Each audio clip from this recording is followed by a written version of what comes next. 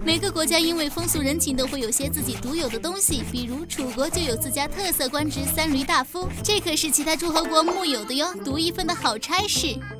那么，楚国这个特色的官职三闾大夫究竟是个什么官职？它主要是干啥的呢？三闾大夫主要主持宗庙祭祀，监管王族宗族事务等，顺便还监管贵族区景昭三大氏子弟教育的闲差事吏，做好贵族子弟的后勤保障。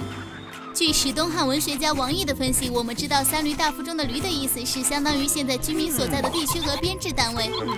三闾就是把楚国贵族三大姓昭、屈、景三氏按照单位编制来划分成三个，分别是昭闾、屈闾和景闾。我们熟知的楚国名臣屈原在流放之前，他的最后官职就是三闾大夫。所以亲们，你们闹明白了三闾大夫是个什么官位吗？